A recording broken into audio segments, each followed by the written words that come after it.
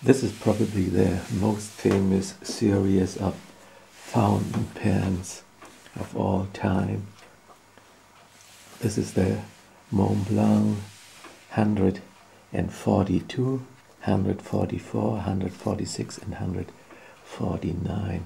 I just take them here to to show you the difference in size.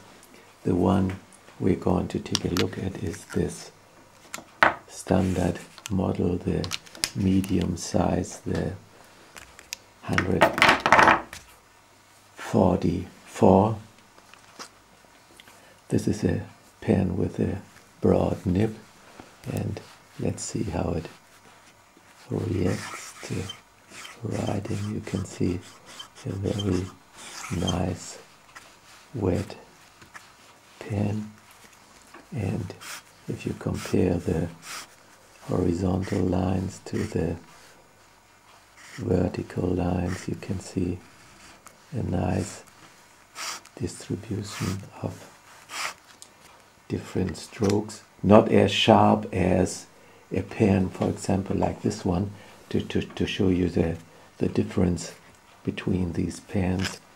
You can see this is a, a pen I tuned fine-tuned you can see how sharp the horizontal lines are and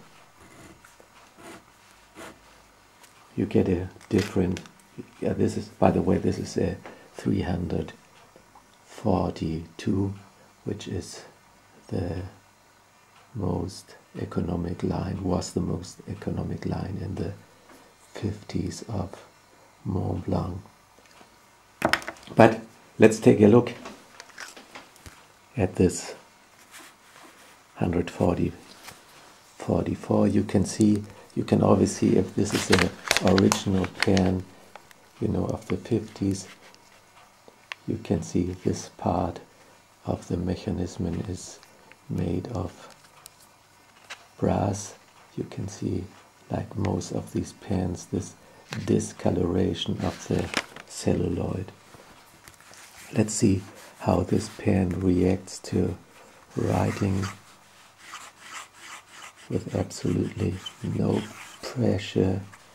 Now with a little bit of pressure. You can see. This is a very special pen.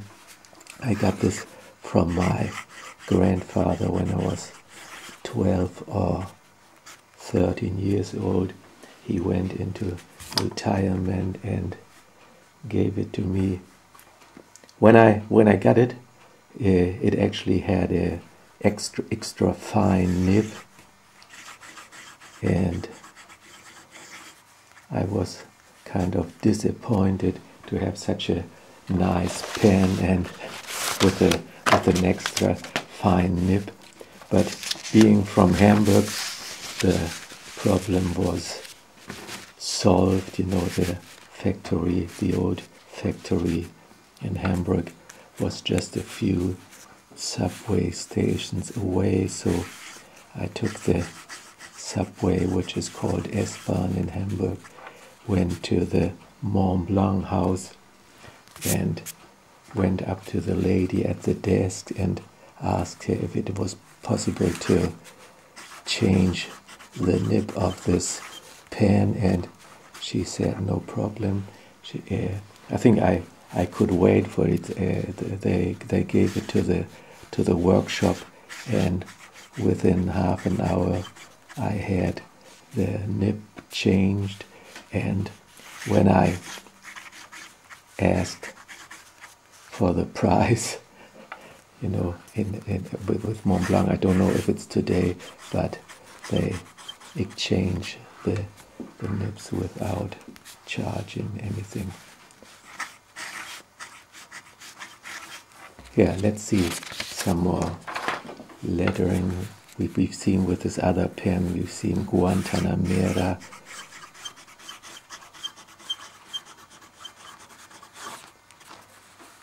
We've seen Monday.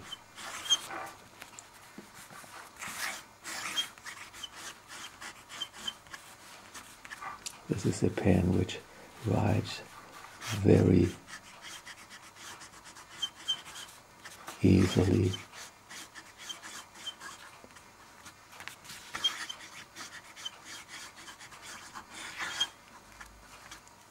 It's not the absolute sharp italic writing, but you get a nice difference between the thin and thick strokes.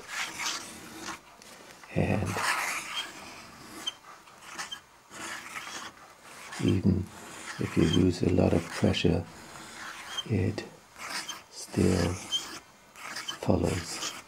Okay this is the 140 for Montblanc pen